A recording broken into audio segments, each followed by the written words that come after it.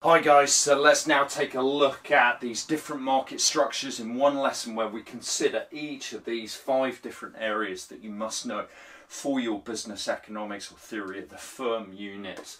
Uh, we're going to look at each of these characteristics in turn, have a look at some good examples here as well. So this should be really pretty useful for you. Okay, let's get started with perfect competition. So of course we've got a industry with uh, many identical firms uh, within this marketplace. The products are identical. There's none or very, very low barriers to entry.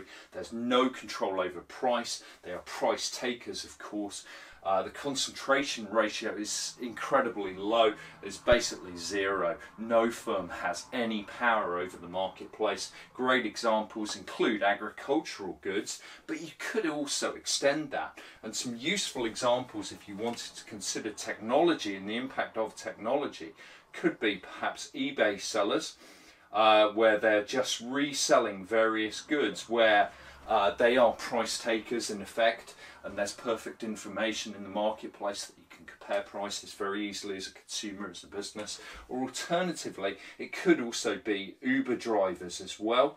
So Uber drivers, again, they have to accept a given price within that marketplace. And once again, there is that perfect information uh, because you can compare different apps according to Lyft or Uber and the price levels they're likely to charge at a given point in time. Uh, monopolistic, right, where you've got many firms here. There's differentiated product, of course. Barriers to entry are low or none.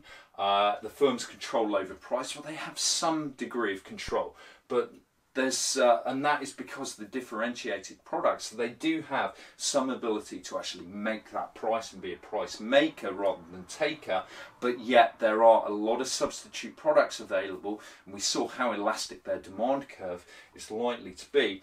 As such they're only going to have some control over price uh, and uh, the concentration ratio is going to be very low Great examples include bed and breakfast, possibly hotels, Airbnb hotels, uh, as well as Etsy shops. Those are nice examples to consider. Uh, again, relating this back to how technology can influence these market structures. Uh, so then we've got contestable markets. We've got few uh, firms, we've got a uh, differentiated product in all likelihood, no barriers to entry or low barriers to entry. The firm's control over price may be some degree of control. Uh, the concentration ratio is likely to be relatively low. I've put down lightly examples here as uh, restaurants or possibly food stalls or food carts uh, as they're known in the States. Uh, so you can actually set up in those types of industry at relatively low costs. When it comes to oligopolies, of course, the number of firms is very few. Uh, you've got identical or differentiated products. Their barriers to entry uh, are very high and are likely to include scale, economies of scale, uh, and the cost base that the firms can actually work to, as well as the marketing economies of scale. The firm's control over price is really quite considerable. The concentration ratio is very high. Uh, and good examples, perhaps energy and phone service providers, supermarkets. Perhaps you could also use Uber as a good example there against uh, another competitor firm like Lyft.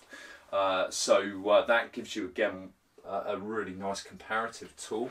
What about monopolies? Well, you've got one firm here uh, you've got a unique product, barriers to entry, where you've got the scale, the economies of scale, the scope of the actual market that they work to enables them to benefit from those same marketing economies of scale, as well as making sure that they have the best staff to actually uh, develop the, the best product theoretically, uh, and there's legal barriers perhaps in some circumstances which may prevent new entrants.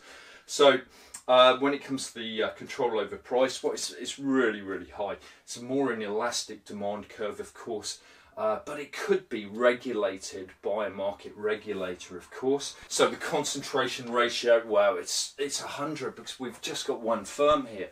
Uh, so what about examples? Well, water providers, utility provider, water utility providers, you have no choice. You have to get your water from a given provider, but they do have their price regulated. Uh, now, you might also have local monopolies, which might include local football sides, as we've said. Uh, what about eBay? Is eBay a good example? Perhaps not so. Uh, not so much now because you've got Facebook offering a, uh, a sort of auction based site as well, haven't you? I believe.